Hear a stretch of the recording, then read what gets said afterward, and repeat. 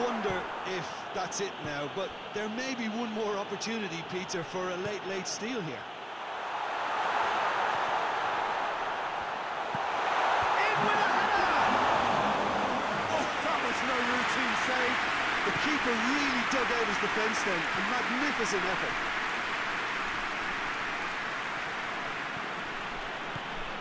Alex Telles gets away from his opponent. Chance! Yes, he's done it! And that has raised the roof! Jim, your thoughts? It's rarely a problem when that much time is afforded in the penalty box. Nobody sensed where the danger was lurking, and the finish was made a lot easier.